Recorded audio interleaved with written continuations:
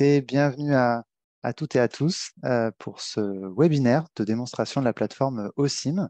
J'ai le plaisir euh, d'être accompagné euh, de Bruno Casabat, directeur des affaires techniques aux hôpitaux de Lyon, ainsi que Thierry Lachaud, ingénieur hospitalier au sein des hospices civils de Lyon, et Géry Devry, expert immobilier à la NAP. Et pour me présenter, je suis Alexandre Laurent, animateur de réseau et de communauté de pratique à la NAP. Avant de démarrer ce webinaire, je vous propose de faire un rapide tour des bonnes pratiques en visioconférence. Donc, ce webinaire se déroule sur Zoom. Donc, euh, au fil de l'eau, vous pouvez utiliser la conversation pour euh, poser vos questions. On prendra le temps d'y répondre euh, lors de notre session de questions-réponses juste après la, la, démonstration. Et puis, vous pourrez aussi, pendant la session de questions-réponses, lever la main pour poser directement vos questions de vive voix euh, et, interagir du coup euh, avec nos intervenants. Eh bien, écoutez, je vous propose du coup de rentrer dans le vif du sujet. Et donc, Monsieur Lachaud, je vous laisse partager votre écran. Bonjour à tous. Bien, euh, bonjour à tous et à toutes. Le projet OSIM est un projet au long cours tout d'abord, OSIM, c'est Observatoire des surfaces et des coûts de l'immobilier de la santé. C'est un projet qui a été créé en 2011 par l'ANAP et la conférence des directeurs de CHU, euh, des directeurs généraux de CHU, et représenté, cette conférence représentée par les hospices civils de Lyon. C'est un projet qui est antérieur, puisqu'au début, euh, ça a démarré dès les années 2000 et il s'est consolidé par cette fusion avec l'ANAP en 2011. Cette nouvelle interface euh, mise en ligne en 2023 recoupe à, ce jour 131 opérations de construction, de réhabilitation et représente plus de 2 900 000 mètres carrés au total. C'est une euh, base de données euh, active qui s'enrichit en permanence avec de nouvelles opérations soit des opérations euh, analysées par l'ANAP, soit euh, des opérations provenant de la commission architecture et ingénierie de la conf du DG de CHU. Pourquoi, cette euh, base de données? Quels sont les principes fondamentaux? C'est très simple, chaque hôpital est unique. Et donc la comparaison globale est non pertinente entre les hôpitaux. Le coût global d'un hôpital est divisé par un nombre de mètres carrés n'a pas de sens. Donc il a été décidé, acté, de, modéliser les hôpitaux à travers un découpage de l'hôpital en secteurs fonctionnels qui deviennent ainsi comparables entre eux. Donc, ces secteurs fonctionnels sont, au fil des ans se sont enrichis. En ce qui concerne le MCO, médecine, chirurgie obstétrique, on a 32 secteurs fonctionnels euh, qui sont euh, certains bien évidents, d'autres un peu moins. Euh, les blocs opératoires, par exemple, l'hébergement, les consultations, les urgences, euh, les circulations générales, euh, etc., les stations. Donc ces secteurs fonctionnels euh, sont nombreux et identifiés lors de la saisie du dossier de l'opération dans la base de données OSIM. À quoi ça sert?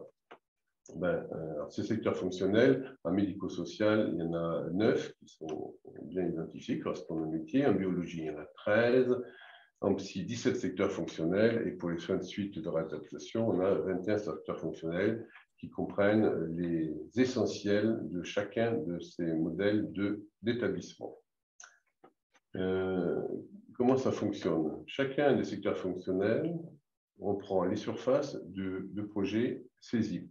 Euh, donc, on a des indications pour euh, ces secteurs qui sont la surface utile par local, qui sont euh, la surface du secteur au total, qui sont euh, les surfaces dans œuvre du secteur, et on en tire, entre autres, assez rapidement, des ratios SDU sur, SDO sur SU pour le secteur et bien d'autres ratios.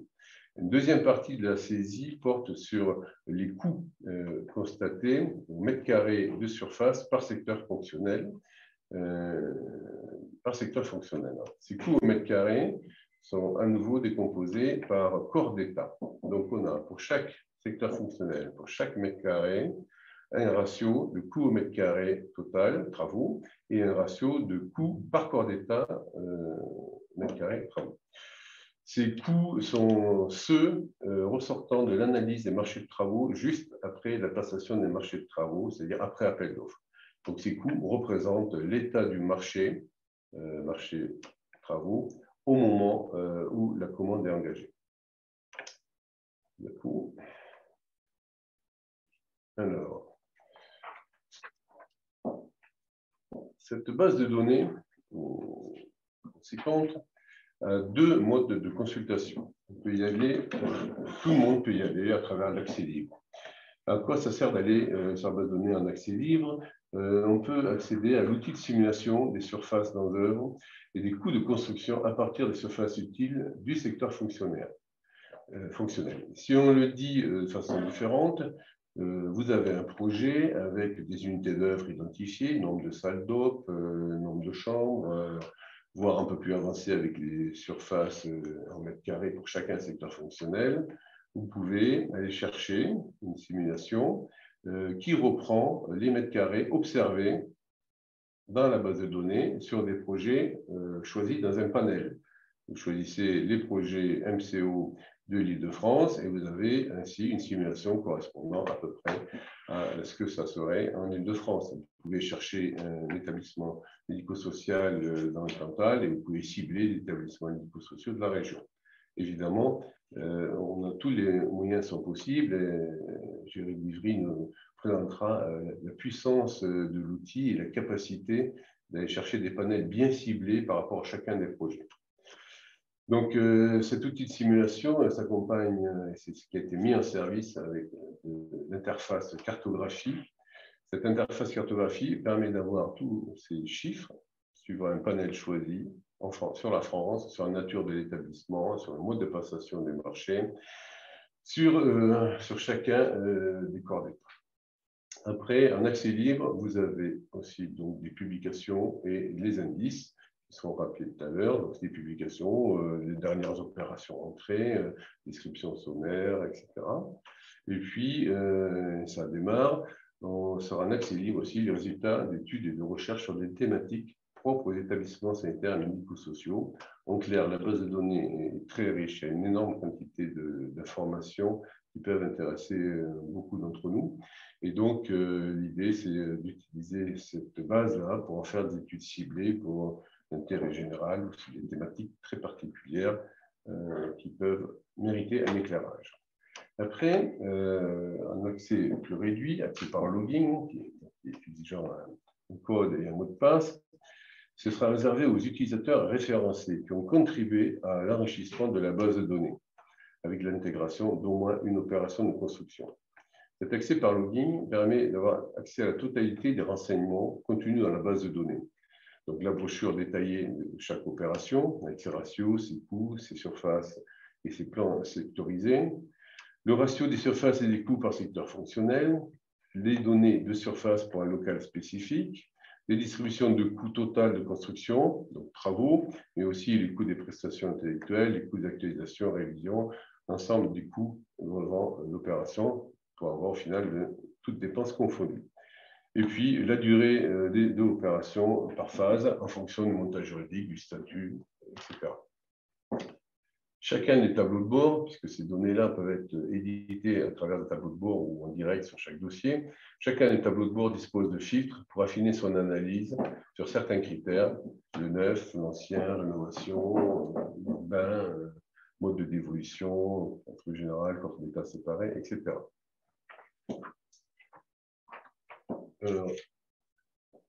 Un usage très variable. Euh, cette base de données euh, peut être utilisée par différents utilisateurs et avec des usages très variables, mais très pertinents. Par les administratifs, donc ce n'est pas réservé aux architectes ou aux ingénieurs. Ça peut être utilisé par les administratifs ou financiers pour faire des estimations rapides ou au contraire vérifier les, prix euh, de travaux, etc. Pas administratifs, par des techniciens qui sont euh, porteurs de projets ou acteurs dans nos différents métiers, euh, architectes, ingénieurs, économistes, voire mainteneurs. Et ça peut être utilisé aux différents stades du, projet. le premier stade, le plus initial, si on peut dire, c'est en étude de faisabilité.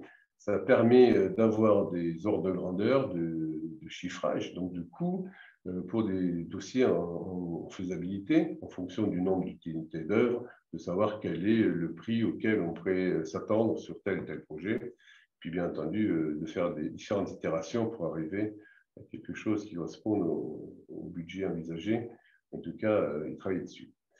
Ça se précise au niveau du stade de la programmation lorsque le programme technique détaillé ou même le programme technique euh, démarre, à ce moment-là, il est possible de recalibrer une, estimation en prenant les études mais aussi euh, les surfaces euh, demandées dans, le programme, et d'en tirer une estimation travaux, coût de travaux, hors taxe travaux pour le projet, de peut-être ainsi vérifier l'adéquation entre le coût estimé et le budget de l'opération ou euh, s'assurer du bon fonctionnement euh, du projet jusqu'à ce moment-là, aller chercher peut-être des arbitrages en les éclairant sur l'impact financier.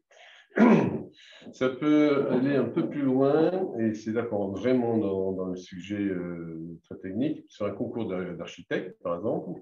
L'outil permet, avec chacun des 3, 4 ou 5 projets remis sous forme d'esquisse ou d'avant-projet sommaire, ça permet de rechiffrer chacun des 3, 4, 5 projets avec le même outil sur la base des marchés euh, d'aujourd'hui. Ce n'est pas que cette estimation-là sera euh, meilleure que celle des architectes, mais en tout cas, ce sera la même pour les différents projets et ça permet de faire des comparaisons entre eux pour identifier les plus chers, les moins chers, et ainsi de suite. Après, en phase APD, au moment d'engagement, lorsqu'on a un MOC, au moment d'engagement euh, sur APD, euh, ce chiffrage sur un avant-projet définitif permet de s'assurer de la cohérence entre l'engagement d'une part et le chiffrage qu'on en fait aujourd'hui d'autre part. Euh, on peut aller plus loin au niveau du projet ou des estimations de travaux avec euh, des, usages relativement simples, hein, s'assurer que les estimations sont cohérentes, bien sûr. Ça permet aussi euh, de faire une segmentation par lot, par exemple, et lors des résultats d'un appel d'offres, remise des prix, identifier plus finement où est le dépassement, sur quel lot on a des dépassements ou des sous-estimations remarquables lors de la remise des prix. Donc, c'est un outil euh, itératif qui, en fonction du degré d'avancement du, projet, permet de, s'assurer du, bon fonctionnement euh, budgétaire, si l'on peut dire. Alors, OSIM, c'est aussi une bibliothèque de solutions architecturales et organisationnelles. Chaque opération intégrée dans la base de données est complétée d'une brochure comprenant la carte d'identité de l'opération, euh, le résumé du programme, localisation, acteurs, son calendrier, à quelle époque euh, le chantier a été fait, livré, quand vont nous lancer les procédures, les plans de niveau sectorisés. on voit euh, par secteur euh, les solutions architecturales et surtout fonctionnelles qui ont été appliquées, les surfaces réservées aux circulations, etc. Une notice architecturale qui est quelque part une extension de la notice architecturale du permis de construire avec une, analyse fonctionnelle. Et puis le, récapitulatif des surfaces et des coûts par secteur fonctionnel de l'opération. C'est le principe même de la base de données. Ces brochures permettent de prendre connaissance des projets sanitaires et médico-sociaux intégrés dans la base, des solutions mises en œuvre et d'en tirer des enseignements pour ces projets. C'est une forme de, benchmark euh, ouvert et, très puissant euh, qui est, proposé par cette base de données. Antériorité, on peut citer que la base de a des collègues des projets depuis plus de 12 ans. Euh, ces projets ont, évolué. Euh, on peut, si on s'intéresse sur un secteur fonctionnel ou sur des, points particuliers, regarder les évolutions faites au fur et à mesure des projets et du temps euh, de certains modes d'organisation ou des surfaces euh, affectées au bloc ou au réa ou aux chambres, et aussi euh, les évolutions de, coûts, en les comparant peut-être aussi aux évolutions des indices ou à la complexité architecturale de certains dossiers. Donc aujourd'hui, cette base de données, il y a 2 900 000 mètres carrés hospitaliers intégrés. C'est 131 projets, des MCO et des microsociaux. On est sur un régime de croisière jusqu'à maintenant qui est de l'ordre de 8-10 opérations nouvelles chaque année. Donc, il y en a plus ou moins anciennes, d'autres plus récentes, y compris des grosses opérations parisiennes. Et à partir de dorénavant, on est sur un trend qui va être plutôt de l'ordre de 40 à 50 opérations par an, euh, du fait en particulier euh, de l'intégration des projets médico-sociaux sociaux bénéficiant d'une aide et, des, projets euh, sanitaires qui sont en cours de lancement, en particulier dans le cadre du Ségur. Voilà. Donc, euh, on, constate un accroissement de l'audience. Euh, régime de croisière, on est plutôt autour de 50-60 simulations par semaine. Et là, depuis la mise en ligne de la cartographie, dont on va nous parler euh, Géry dans le détail, depuis cette mise en ligne, on est passé sur une quantité de consultations beaucoup plus importante, de l'ordre de 2500 consultations depuis le 17 avril, ce qui aurait tendance à confirmer l'intérêt de, cet objet, de cette base de données et de son viewer. Donc euh, voilà, en conclusion, euh, vous pouvez aller voir et vous rendre compte par vous-même, euh, osim.fr, n'hésitez pas à poser toutes les questions. Je passe la parole à, Géry, si tu veux bien, pour passer sur une partie plus visuelle peut-être. Merci. Oui, eh ben, merci Bruno de cette présentation du contexte de la création de SIM et de ses fonctions principales, historiques. Euh, c'est une base de données qui était, euh, à, mon avis, très puissante, qui est datée un peu dans sa conception, puisqu'elle date là, déjà près, comme l'a dit Bruno, plus de 12 ans. Hein. Euh, et dont l'usage était un peu en dessous des attentes de notre part, c'est-à-dire qu'effectivement, on s'apercevait que euh, les, utilisateurs euh, n'étaient pas si nombreux. Voilà. Donc, dans le contexte d'une mission qui a été confiée à la NAP sur les coûts, qui était une mission qui est arrivée récemment, on a travaillé avec la conférence des CHU pour créer une interface euh, d'accès à la base aussi, je dirais plus ergonomique, plus, plus convivial et peut-être plus souple. Et d'ailleurs, on en voit les résultats parce que, comme l'a dit euh, Bruno, on a euh, énormément de connexions en quelques semaines parce que l'usage est peut-être plus facile, même si on n'a pas accès à la totalité de la base complète, comme l'a présenté Bruno, qui sont entre autres les plans, les choses comme ça, qui nécessitent encore un login. Là, on est sur un accès public ouvert à tous les acteurs de, la, de la santé. Voilà. Donc, euh, je vais passer sur l'écran pour vous montrer la nouvelle interface et vous la présenter. Alors, juste une seconde, il faut que je me mette sur la simulation. Je n'ai pas partagé. Voilà. Excusez-moi, j'ai le bouton partager qui s'était caché. Voilà. voilà. Est-ce que tout le monde voit bien l'écran? Vous me confirmez puisque c'est bon. Oui, c'est Alexandre, l'écran est partagé. Très bien. Merci. Donc voilà, je vous présente la nouvelle interface, en tout cas euh, plus, plus interactive, qui va vous permettre de travailler euh, sur cette base de données de coûts, d'aller chercher les éléments euh, localement, par filtrage, par type d'établissement, qui vous permet d'accéder à, la complexité de cette base, parce qu'il faut bien comprendre que la base SIM est extrêmement riche, avec beaucoup, beaucoup d'informations et que c'est toujours compliqué quand il y a beaucoup d'informations d'en faire quelque chose d'accessible et de simple. Donc, pour les, utilisateurs de cette euh, nouvelle interface, je vais vous présenter en gros comment elle fonctionne. Vous avez sur la droite la cartographie où vous voyez actuellement l'intégralité des 131 projets qui sont saisis dans la base les informations que vous avez, c'est que plus, si vous passez sur une icône, vous allez retrouver euh, les éléments de base, le nom, l'architecte, la date de passation des marchés et la surface.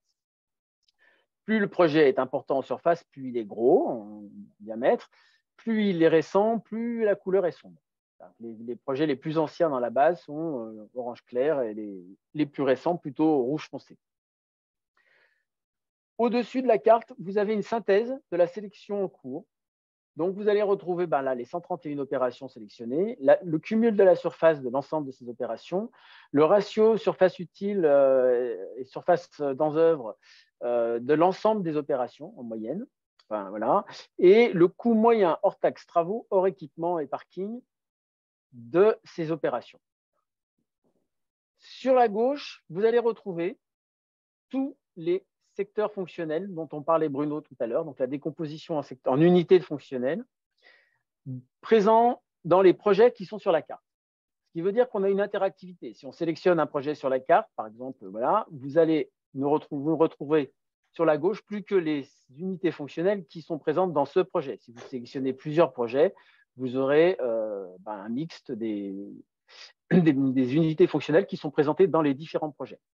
Pour chacun, chacune de ces unités fonctionnelles, vous allez récupérer un coût de construction hors taxe au mètre carré. Alors, je vais tout de suite poser la problématique de l'actualisation des coûts, puisqu'on parle de coûts. Les coûts euh, des projets sont évidemment, saisis à la date de leur euh, des marchés, comme le disait Bruno tout à l'heure. Donc, de ce fait, des projets qui ont 5 ans ou des projets qui ont 3 ans ou des projets qui ont 8 ans ont effectivement des différences de coûts importantes. Pour euh, lisser ces évolutions des, prix, on utilise plusieurs méthodes d'actualisation. Soit on actualise les prix avec l'indice BT01, ce qui est actuellement la méthode la plus classique et la plus standard. L'indice BT01 étant reconnu universellement comme étant un indice euh, qui représente relativement proche, qui est relativement proche de l'évolution des coûts nonobstant quelques évolutions rapides, on, évoquera sans doute tout à l'heure. Et euh, on se retrouve avec des évolutions de prix qui sont lissées, c'est-à-dire qu'un projet qui était à 1000 euros le mètre carré il y a, il y a 10 ans, ben, actualisé, il est peut-être aujourd'hui à 1600. Voilà. Et on a aussi un autre mode d'actualisation qu'on a mis à votre disposition, qui est une actualisation des coûts par indice spécifique. Alors, comment ça fonctionne? C'est-à-dire que, comme vous le voyez sur la colonne intermédiaire, vous avez tous les lots des différents euh, projets. Chacun des lots a un indice d'évolution qui peut lui être propre. Alors, ce n'est pas le cas de tous les types de lots. Donc, comment on a fait? Ben, Pour tous les lots qui n'ont pas d'indice spécifique dans les indices BT, on a utilisé le BT01. Et pour les autres, on a utilisé euh, l'indice correspondant euh, au, au, lot. Ou parfois, alors vous pouvez aller voir comment ça a été fait en cliquant sur la petite lumière qui est en haut là. Et là, vous avez un fichier qui apparaît. Donc, vous pourrez zoomer dessus. C'est un fichier PDF qui explique pour chacun des lots quelle a été la méthode d'actualisation qui a été choisie. Elles peuvent être contestables pour certains. C'est toujours, le, toujours euh, des, choix qu'il faut faire à un moment ou à un autre. Mais euh, l'intérêt, c'est que vous avez la méthode qui a été utilisée. Et donc, en fonction de ça, eh ben, si vous utilisez le mode avec indice spécifique en, cliquant sur le petit bouton en haut, l'actualisation ne se fait plus avec le BT01, mais euh, est plus fine. Alors, pourquoi, quel est l'intérêt de faire une actualisation différente du BT01 bon, C'est que les établissements santé, entre autres les établissements sanitaires, n'ont pas exactement la même configuration de coûts, d'organisation des coûts que le BT01. Le BT01, pour donner un exemple, a un taux euh, de l'eau technique prévu qui est de l'ordre de 22%. Aujourd'hui, sur les établissements MCO, euh, les retours qu'on a sur la base de SIM, c'est presque 38%. Donc, vous voyez, il y a un gros écart sur les lots techniques. Donc, si les lots techniques euh, ont une variation plus rapide les, lots de grosses œuvres euh, dans le temps. Euh, l'indice BT01 sera sans doute valable pour la moyenne des projets, euh, tout type de projets confondus, pas forcément pour les projets hospitaliers. Donc, il y a cette possibilité de vérifier en utilisant les indices spécifiques si par hasard l'écart n'est pas important. Aujourd'hui, l'écart n'est pas si important que ça. Par exemple, on a peut-être une dizaine, une vingtaine d'euros d'écart au mètre carré sur la moyenne de l'ensemble des projets. Donc, pour revenir à l'organisation des, écrans, vous avez donc à gauche les unités fonctionnelles avec les prix actualisés et la décomposition par lot des coûts, toujours ramenés au mètre carré, toujours actualisés. L'intérêt de l'interface, c'est qu'en fait, tout est interactif. Si vous décidez de cliquer sur bloc opératoire, par exemple ici, vous allez avoir la carte qui va se mettre à jour pour vous ne vous proposer plus que les projets de la base de données qui comportent des blocs opératoires. Et les ratios des mètres carrés par lot ne s'appliqueront plus que pour les blocs opératoires. On peut le voir très rapidement. Euh, dans un bloc opératoire, le chauffage, ventilation, climatisation est un poste important. Et effectivement, là, sur un bloc opératoire, on est à 632 euros hors taxe le mètre carré. Si je décide de faire la même chose sur des urgences, je sais que les lots ventilation sont moins importants. Et là, on va vite immédiatement voir que bah, le lot gros œuvre n'a pas beaucoup bougé, mais par contre, euh, le chauffage, ventilation, climatisation n'est plus qu'à 377 euros le mètre carré. Et pareil, quand j'ai cliqué sur urgence, à droite, vous n'avez vu sur la carte plus qu'apparaître que les projets qui comportent des urgences. Donc l'intérêt qu'on a, c'est qu'on peut déjà faire une première, un premier filtre rapide par unité fonctionnelle. Je veux travailler sur l'hébergement, je veux me mettre dans l'hébergement, je veux voir un peu l'évolution des coûts de l'hébergement, enfin voilà, quels sont les projets qui ont de l'hébergement. Donc je vois que j'ai 55 opérations sélectionnées pour 418 000 mètres carrés et j'ai un ratio SDO sur SU de 1,37 sur de l'hébergement. C'est la moyenne de l'ensemble des projets qui sont là. Il y a un coût de construction qui est de l'ordre de 4 458 euros hors taxe le mètre carré. Voilà. Donc ça permet de faire des sélections assez fines euh, et de regarder le détail de la, la décomposition des coûts. Donc, gros intérêt, par exemple, dans un appel d'offres, effectivement, ce qu'évoquait Bruno tout à l'heure. Si vous avez euh, une configuration qui vous montre que vous avez un, prix au mètre carré sur un lot qui vous paraît euh, déraisonnable, vous pouvez venir voir ici pour voir quelle est la moyenne dans les ratios de prix au mètre carré sur les projets de blocs opératoires ou les blocs. Euh. Donc, ça, c'est le premier filtrage. Si on revient sur la globalité et qu'on veut filtrer sur d'autres types, là, on a une page complète de filtrage. On va voir apparaître la page filtrer les projets et là, vous allez retrouver tous les filtres qui sont possibles. Tous ces filtres existent déjà dans la base de données de SIM initiale. On a juste euh, simplement repris on les a rassemblés sur une seule page. Donc, vous avez la possibilité de filtrer entre médico-social et sanitaire. Exemple, je ne veux garder que le médico-social dans la base. Je clique là. À droite, la carte va se mettre à jour. Je n'ai plus que des projets médico-sociaux sur la carte. 34 opérations à ce jour pour 249 000 m2, un ratio SDO sur SU de 1,53 et un prix de construction moyen médico-social de euh, presque 1700 euros le mètre carré. Mais je peux aussi, euh, je veux savoir si c'est du privé ou du public santé ou de l'ESPIC, je peux sélectionner aussi. Le type d'établissement, je peux sélectionner aussi. Euh, si, je veux, si je veux travailler que pour comparer sur des CHR, CHU, je peux, mais si je veux travailler que sur des SSR, je peux aussi. Euh, la typologie géographique qui permet de savoir si l'établissement est urbain ou pas, parce qu'on s'est aperçu que ça a une variation sur les coûts savoir si l'opération est une opération partielle ou totale, c'est juste une, extension ou si c'est euh, un projet complet, euh, si c'est que du neuf, de la rénovation ou, un mixte. Le type de cas juridique, ce qui est très intéressant aussi, est-ce que c'est une opération qui s'est faite en conception-réalisation ou en loi MOB? Par exemple, là, j'ai 131 opérations. Si je décide de euh, garder, de, retirer la loi MOB pour voir combien j'ai d'opérations en conception-réalisation et en PPP, je vais avoir une Alors, vous affolez pas du temps de réaction parfois parce qu'en en fait, d'abord, il y a beaucoup de monde qui s'est connecté depuis qu'on a commencé le webinaire sur la base. Donc, il y a beaucoup de monde actuellement sur le serveur. Et euh, de plus, euh, les, calculs sont assez complexes parce que comme c'est une base assez importante. Donc là, je trouve qu'on a un temps de réaction un peu élevé là à l'instant. Mais je pense que je vois qu'il y a énormément de monde connecté sur la base simultanément. Ça peut être une des raisons. Voilà. On va essayer de relancer la, réactualiser la base. Hop, si elle veut bien, eh ben, effectivement, je vois qu'il y a plusieurs centaines de personnes connectées. Ça fait beaucoup simultanément. Voilà. Euh, donc, je reviens sur les filtres, comme ça on va les regarder.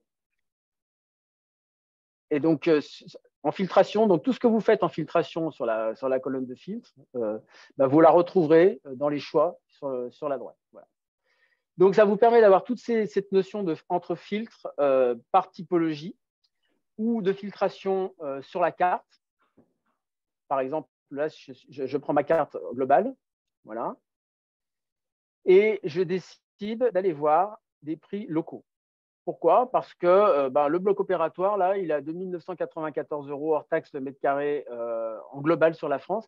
Mais qu'en est-il de l'île de France Eh bien, j'ai sur la possibilité de faire un petit lasso et de ne sélectionner que les projets d'Île-de-France, pour peu que le temps de réaction de la base me le permette, parce avec tout ce monde, ça ralentit beaucoup.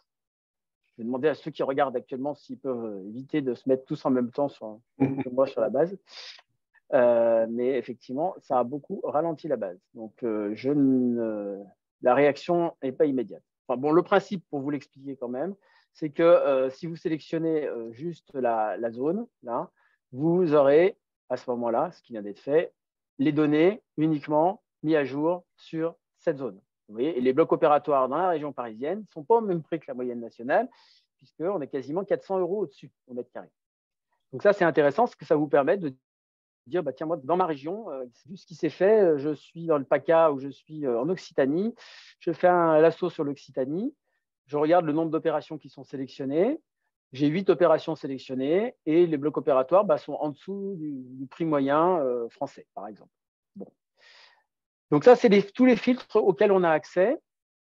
On a aussi des possibilités de dire, je veux détailler de façon un peu plus fine euh, les lots techniques parce que je veux. Donc, je peux aller voir, par exemple, sur les urgences. À ce moment-là, je clique sur la barre jaune qui correspond aux lots techniques.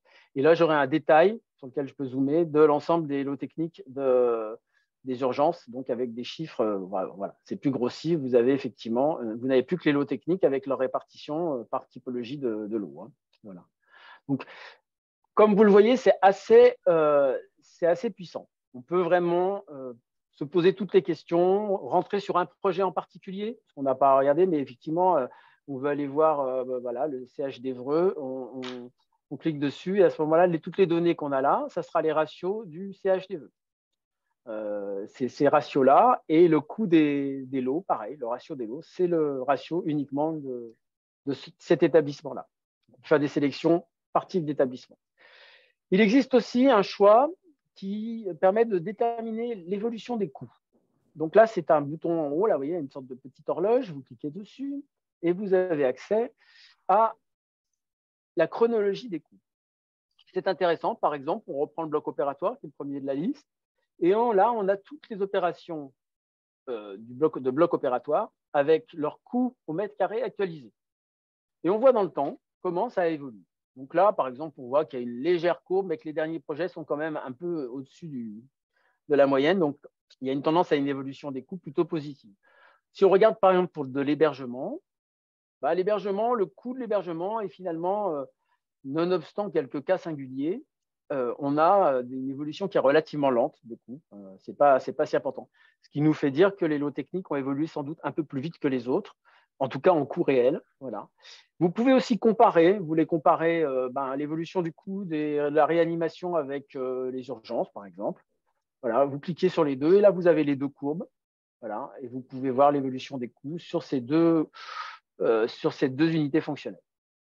Voilà, je pense que je vous ai présenté euh, la globalité euh, des capacités de l'outil rapidement. Hein, maintenant, si je revenais sur les filtres, parce que peut-être maintenant là, il, réagit plus vite, j'ai l'impression qu'il y a du monde qui est gentiment s'est déconnecté. Euh, oui, quoique, ce n'est pas encore le cas. Non, ce n'est pas encore le cas, mais euh, dès que je pense que vous pouvez aller jouer, moi je vous invite à aller jouer avec l'outil. il est ouvert, il est en ligne.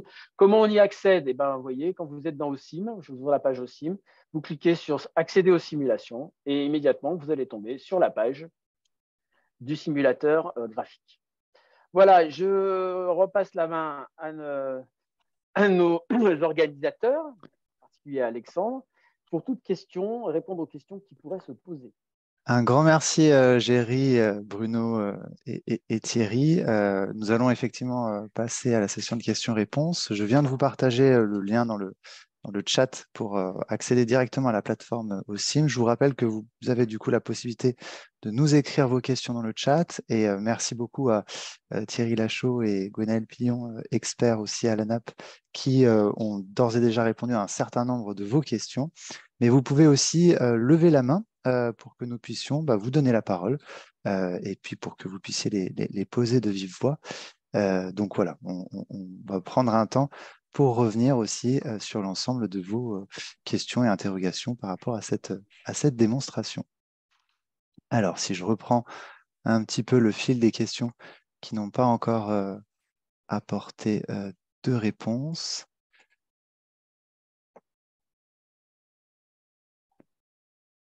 Alors, on avait Donc, beaucoup de réponses ont été apportées euh, par euh, Thierry Lachaud. Merci beaucoup. J'ai une question pour savoir si on pouvait euh, déterminer si c'était du neuf ou de la réhabilitation oui, du mix. En fait, l'astuce, elle est sur la page de filtre. de choisir, euh, par exemple, si on ne veut que de la rénovation ou on ne veut que du neuf, on enlève la rénovation. Et à ce moment-là, les projets qui vous seront présentés sur la carte et sur lesquels vous travaillerez sur l'écran affiché les ratios ne, sera plus que, ne seront plus que des projets neufs. Voilà. Euh, vous aurez cette sélection. On a une autre question euh, sur justement la, la, sur la sélection d'un projet. Est-il possible d'avoir la date de valeur du ratio? Euh, la date de valeur du ratio, oui, la date de valeur, on l'a, puisque c'est la date de passation des marchés. Donc là, quand vous passez sur un projet, vous voyez, voyez ça c'est 2010 sur le siège de Melun ou Reims, c'est 2019. Donc ça, c'est la date, euh, je dirais, ce qu'on appelle la date de valeur, sur laquelle on. Là, vous avez juste l'année, hein. on n'a pas mis le mois, mais on l'a évidemment en base.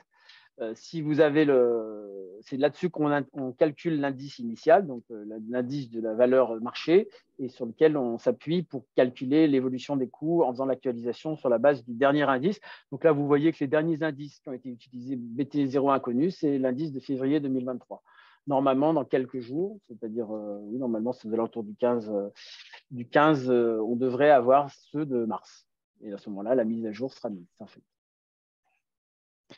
Et on a une autre question euh, euh, sur les, fonctionnalités supplémentaires euh, en fonction du, de l'accessibilité par login sur, avec un compte sur osim.fr. Est-ce qu'il y a des fonctionnalités supplémentaires qui sont, qui sont bah, offertes? Je vais commencer à répondre. Je pense que je me ferai compléter par Thierry s'il y a besoin, mais euh, c'est ce qu'a exposé Bruno tout à l'heure, c'est-à-dire que sur la base de données euh, accessibles par login, vous avez accès au plan, entre autres, à l'organisation l'établissement. C'est des, données qui sont très intéressantes quand on fait des projets ou quand on réfléchit à un projet. Vous allez aussi avoir des simulations parfois sur les surfaces qui, là, pour l'instant, ne vous sont pas proposées, de savoir quelle est la surface moyenne d'un local de tel type dans un établissement de tel type. Voilà, euh, je passe la parole à Thierry, je pense qu'il peut compléter éventuellement. On va retrouver aussi euh, des données de coûts hors coûts travaux, c'est-à-dire tous les, les coûts des prestataires intellectuels et les ratios qui peuvent en découler, combien est le pourcentage de maîtrise d'œuvre par rapport au coût des travaux.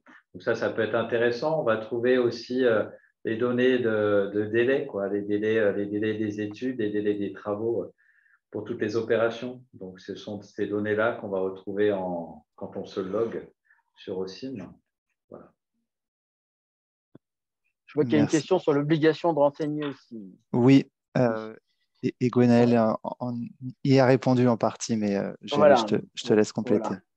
effectivement, aujourd'hui, tous les projets qui euh, bénéficient du plan d'aide à l'investissement de la CNSA ont l'obligation de soumettre leur projet au CIM euh, pour pouvoir bénéficier du versement de la première, enfin, du premier versement. Et donc, de ce fait, ils peuvent se connecter sur OSIM, ils vont sur OSIM, je vous montre, et, là, il y a un bouton euh, soumettre son projet. Voilà. Donc là, a, si on clique dessus, on a la procédure à suivre, les fichiers à télécharger et à remplir. Voilà. Donc le principe, c'est que les établissements remplissent le fichier initial qui, donne, qui rassemble la majorité des informations sur le projet. Et en fonction, nous, on va analyser en fonction de la, la portée du projet, de son envergure et tout, on va juger de sa nécessité de l'intégration dans la base ou pas.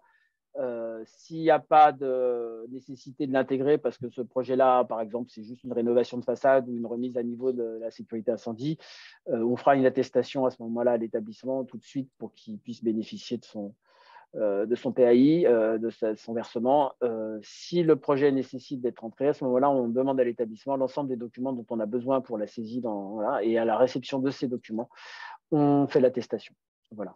Euh, je veux juste évoquer le fait qui a déjà été exprimé dans les différents communiqués de presse que euh, cette obligation de saisir les projets, euh, de soumettre ces projets à OSIM de la CNSA va sans doute être étendue, je dirais quasiment dans les mêmes termes, à tous les projets sanitaires qui bénéficient de subventions.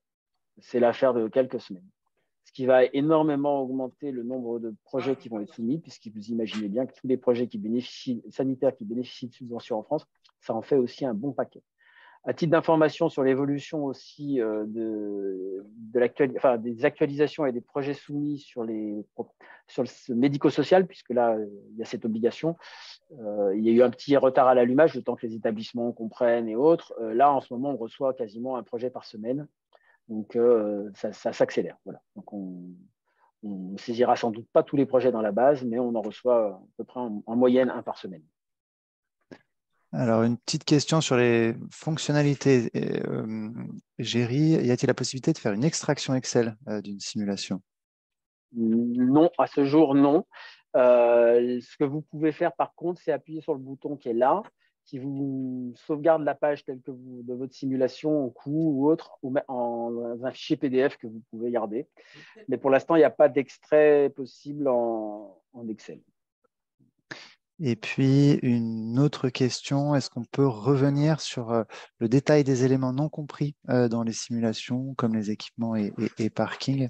Euh, Tu l'as présenté en, amont, Géry, mais peut-être voilà, le, le rappeler c'est là que c'est intéressant de regarder, effectivement. Si vous regardez là, par exemple, vous avez un petit bloc opératoire euh, qui peut être, euh, si vous cliquez sur bloc opératoire, par exemple, vous allez avoir un prix de bloc opératoire global, intégrant les, équipements et autres, euh, qui est donc de 3061 euros hors taxe le mètre carré. pourquoi? Parce que c'est le même prix tout à l'heure. Pourquoi? Parce qu'on est allé filtrer les projets et que dans filtrer les projets, on a mis que on voulait que du neuf. Voilà. Donc, si on, remet qu'on veut tout, on a l'ensemble des projets. On va pouvoir comparer du global. Voilà. On revient sur les ratios. Et là, donc on est à 2994. Il n'y a pas une grosse variation, mais vous allez trouver euh, un prix qui est différent, vous voyez, de l'ordre euh, de 200 euros à peu près, euh, qui sont les, travaux hors équipement, parking et autres qui ont été enlevés. Ce n'est pas exactement le même coût. Pourquoi? Parce que vous avez ici des lots euh, spécifiques, mais vous pouvez les retrouver. Les, les équipements biomédicaux, les, équipements de laboratoire, ben, en moyenne sur ces projets-là, euh, ça peut faire 153 euros d'équipements biomédicaux. Voilà. Donc, comme il y avait des projets qui intégraient dans leur coût les équipements biomédicaux et d'autres qui intégraient les équipements de laboratoire et d'autres qui, intégraient les équipements de cuisine et d'autres pas, euh, on avait du mal à comparer ce qui était comparable, en tout cas sur la moyenne globale. C'est pour ça qu'on a retiré ces lots-là du ratio que vous voyez en haut. Mais par contre, vous l'avez toujours là, projet par projet, pour aller voir quel était le ratio d'équipements biomédicaux, est-ce qu'ils avaient été pris en compte ou pas. Voilà, par exemple, sur ce projet-là de CHU de Reims, euh, les équipements biomédicaux n'étaient pas inclus dans le, coût des projets, ni les équipements de cuisine. Alors que peut-être que pour un autre projet, vous allez les retrouver. Je m'avance, peut-être que ce n'est pas le cas, mais voilà, typiquement, là, sur le projet euh, Charles-Nicole de Rouen, vous avez 156 euros hors taxe de mètre carré d'équipements médicaux.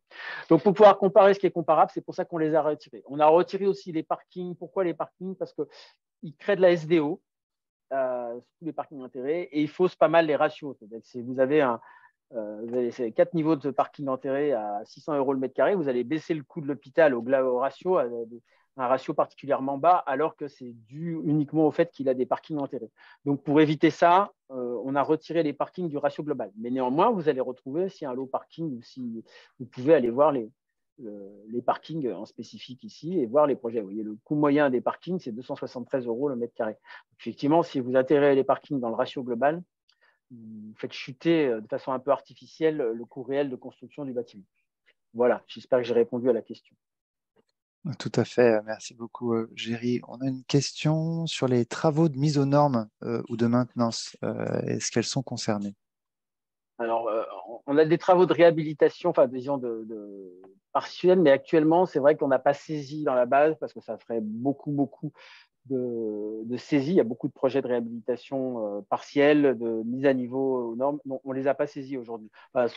sauf, euh, je ne pense pas que Thierry a des, informations particulières là-dessus, mais on ne les saisit pas parce que la diversité des configurations euh, rendrait pratiquement les choses incomparables. Donc, ce ne serait pas un intérêt immédiat. Peut-être que c'est un sujet sur lequel on pourrait se pencher dans le futur, parce que sur certaines mises aux normes, on pourrait essayer d'extraire des ratios, mais je pense que ce ne serait pas forcément dans la base de données OSIM de base. Merci beaucoup. Et donc, pour, euh, on, a une autre question, mais plutôt sur les, listes euh, des pièces à transmettre pour justement euh, faire remonter une opération. Ben là, on vous invite bien évidemment à aller sur osim.fr et, à suivre justement le, le, circuit pour déposer un, dossier. Vous verrez, c'est voilà, l'ensemble des, pièces est bien. en gros, pour simplifier, les documents qui sont demandés sont essentiellement des documents que la maîtrise d'œuvre a euh, à la signature des marchés. C'est en gros les plans, les façades, c'est des plans en format AutoCAD, c'est un tableau des coûts avec euh, les marchés détaillés, si possible avec des, DPGF euh, détaillés et localisés. Aujourd'hui, on a vu pas mal de projets qui arrivaient avec des, DPGF euh, pas du tout localisés, ce qui ne nous permet pas forcément d'affecter les coûts aux unités fonctionnelles et ce qui peut fausser certains calculs.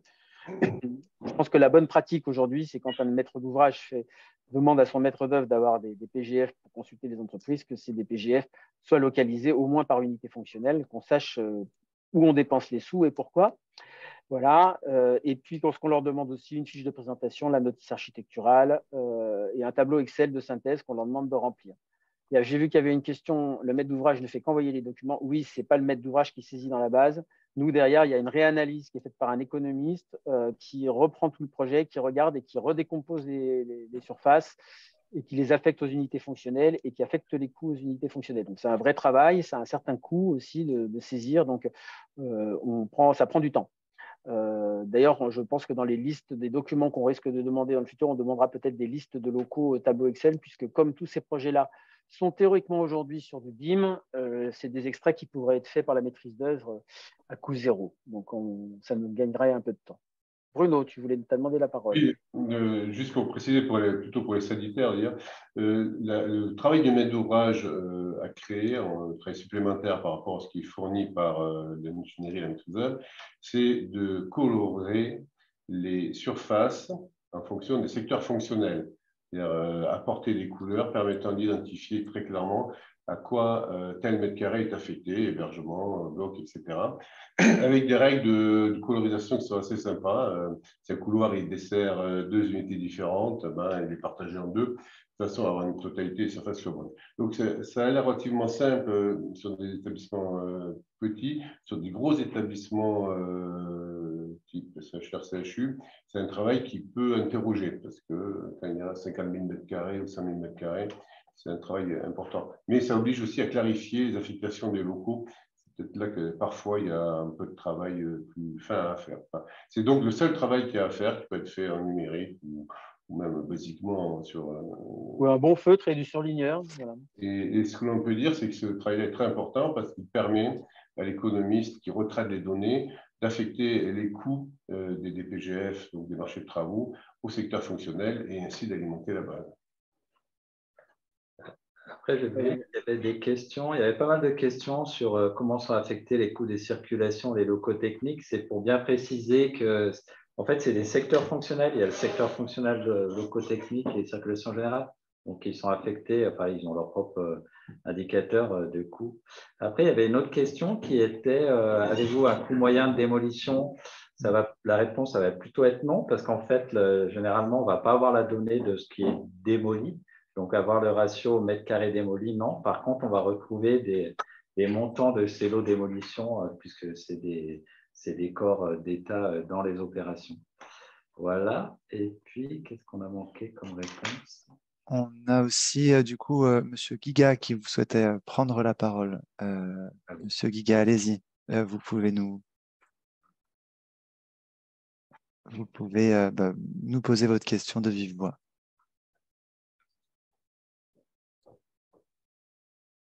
Alors, il suffit d'activer votre micro, mais vous avez la possibilité de prendre la parole.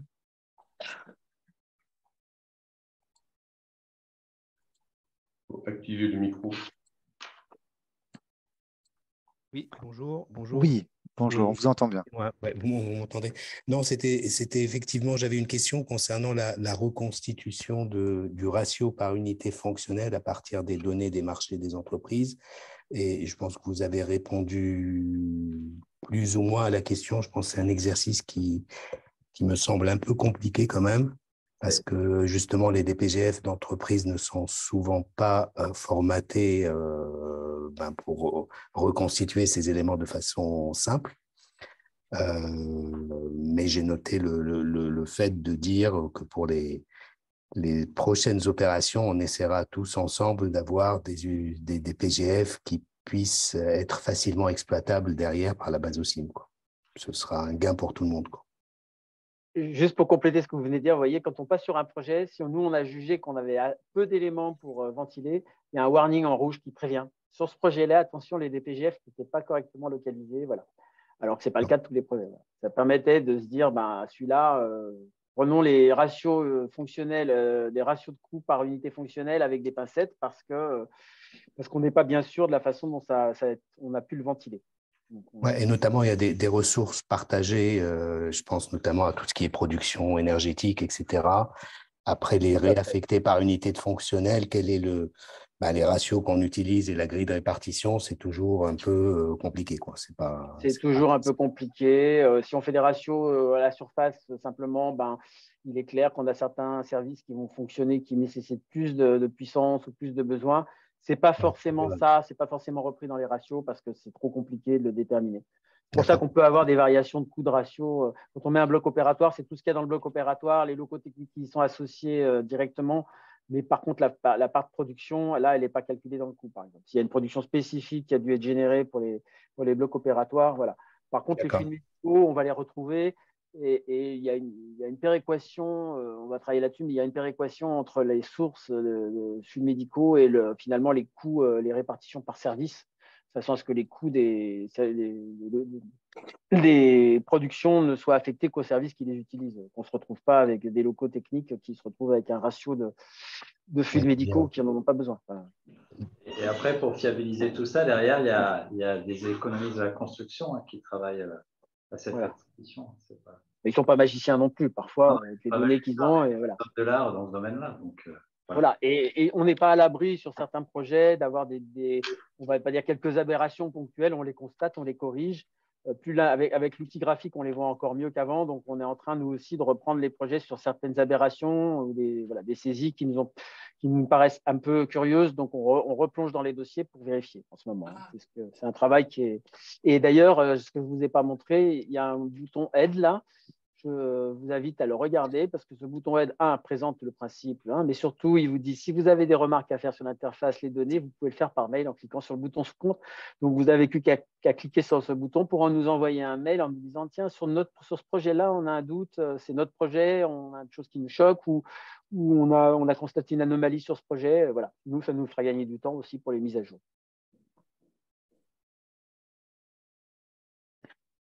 Merci beaucoup pour euh, votre question et, et, ces éléments de réponse. Euh, alors, il nous reste quelques minutes euh, avant de, conclure. Peut-être, Thierry, qu'on peut prendre les dernières questions. Oui, du coup, il y avait une question de Thomas sur les ambitions environnementales sont-elles renseignées, impact coût travaux? Ce qu'il faut savoir, c'est que dans les brochures, on va retrouver la description technique de l'opération et les spécificités de cette opération sont précisées. Donc, s'il y avait euh, des, ambitions, euh, enfin des, recherches environnementales dans, ce projet, c'est spécifié. Donc après, on peut aller, après, c'est un travail à faire pour aller voir l'impact euh, coût-travaux coût travaux sur, sur, sur, par rapport à, cette ambition-là. En fait. Donc, donc, on a des données. Après, ça nécessite pour certains d'aller faire un travail d'exploration, mais c'est toute la richesse de la base de données. En fait. Après, pour compléter ce que vient de dire Thierry, on a, on, a récemment fait modifier la base de données. On a rajouté deux champs qui sont pour l'instant pas remplis sur les anciens projets. Peut-être qu'on pourra le faire, nous, a posteriori, si on a le temps. Euh, c'est euh, la réglementation thermique applicable sur le projet euh, et le type de sécurité incendie. C'est un type U, un type J. voilà. Si c'est du 1, du 2, du 3, ça peut être intéressant parce que ça pourra faire un critère de sélection aussi à terme en disant bah, je voudrais voir que les projets qui sont RT 2020 ou, RT 2012 ou, voilà, ou antérieurs. Euh, c'est des filtrages qu'on va, on va regarder. Si, en tout cas, si la base, on arrive à compléter la base, ce qui doit être possible, je pense, quand même, pour les, les anciens projets, les nouveaux projets, eux, on doit le remplir. Ça nous permettra de faire des filtrages là-dessus aussi. Voilà, donc j'espère que cette interface vous, plaît. Elle a été faite pour être facile à utiliser.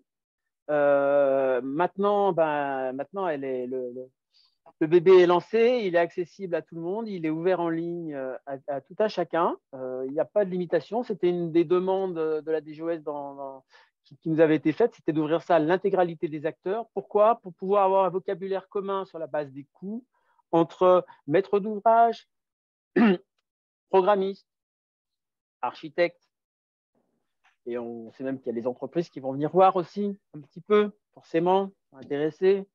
qu'on ait une base au moins commune de débat, de discussion, sachant qu'évidemment, il y a des marges à la hausse et à la baisse au-delà de ces ratios qu'on vous donne.